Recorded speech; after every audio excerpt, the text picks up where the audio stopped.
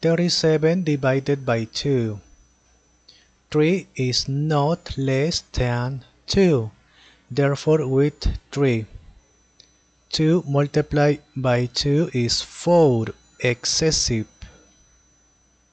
2 multiplied by 1 is 2. 3 minus 2 is 1. 7.